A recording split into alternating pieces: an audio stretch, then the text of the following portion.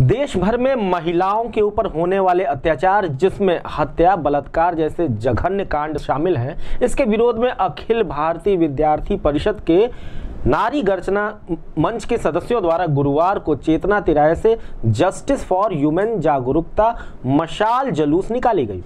ये जलूस चेतना तिराहा से होकर कलेक्ट्रेट चौराहा होते हुए टाउन हॉल गांधी प्रतिमा के पास पहुंचकर समाप्त हो गई। जहाँ मंच के सदस्यों ने गांधी प्रतिमा के समक्ष मोमबत्ती जलाकर नारियों पर हो रहे अत्याचार को रोकने का संकल्प लिया। इसके पूर्व मंच द्वारा चेतना तिराहे पर एक सभा भी आयोजित की गई, जिसमें मंच के सदस्यों ने नारी अत्याचार के विरोध में अपनी अपनी आवाज़ें बुलंद की।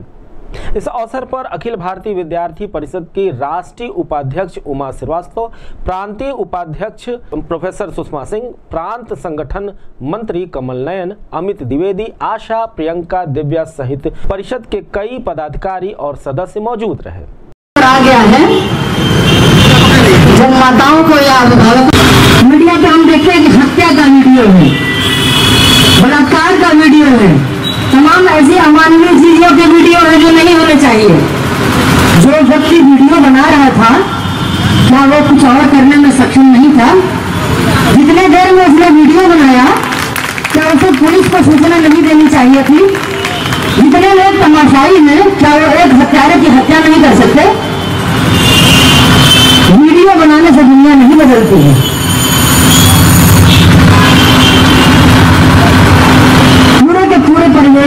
बदलना होगा।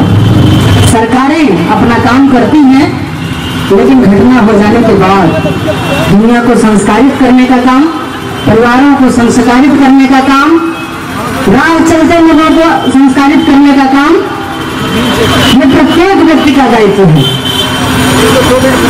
मैं एक बात ज़रूर कहना चाहती हूँ कि हर व्यक्ति में स्त्री तत्व होता है और पुरुष तत्व होता है। स्त्री हो या पुरुष हो, दोनों में दोनों तत्व होते हैं।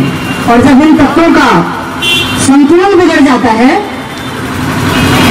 जब पुरुष ज़रूरत से ज़्यादा पुरुष हो जाता है तो वो भी अनुचित होता है।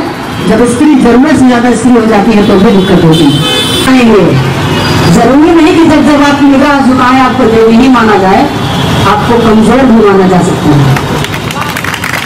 के महलों से वनवास तलक ले आई उठा के महल से वनवास तलक ले आई, और उनकी साजिश कि। धरती में समा जाऊँ मैं।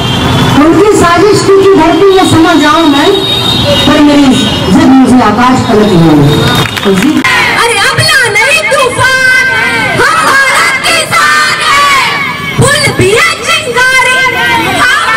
चिंगारी। है। अरे भी है, चिंगारी।